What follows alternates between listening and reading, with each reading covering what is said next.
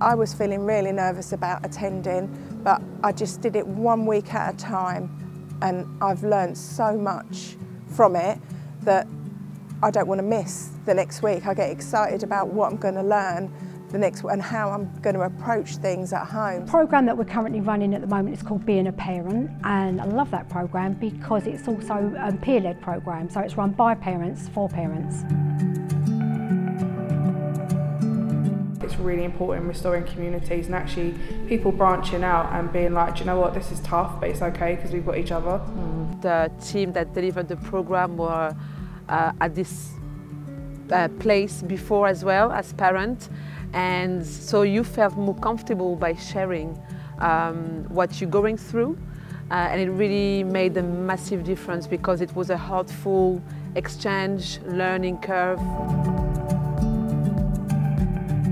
Yeah, it's been really, really helpful actually. It's um, made me more aware, I'd say, of my son's diagnosis and how to help him and also, I guess, to how to help me, how to help me manage it the best I can.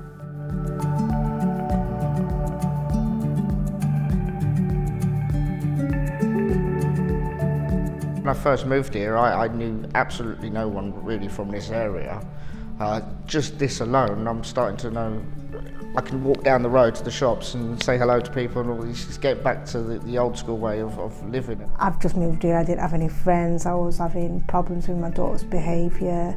Every time I come here I get some sort of support.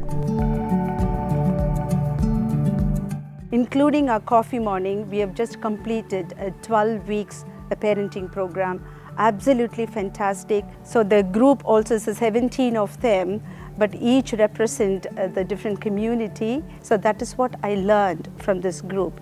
Each and every one, they have their own expertise when it comes to parenting. For my course I did as a parent, um, we've all got a group chat still, and then from the parent group leader training we did, we've got another group chat, so we're all talking to each other and helping each other with things, like building our own communities within ourselves as well.